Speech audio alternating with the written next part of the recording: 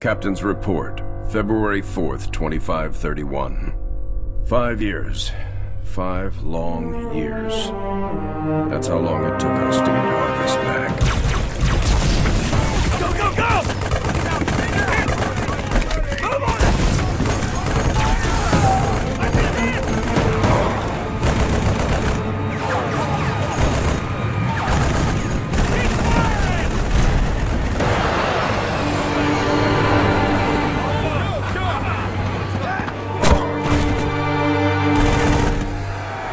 At first it was going well.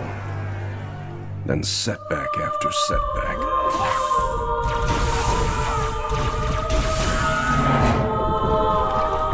Loss after loss.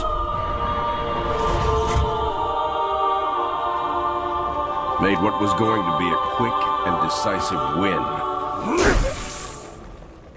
into five years of hell.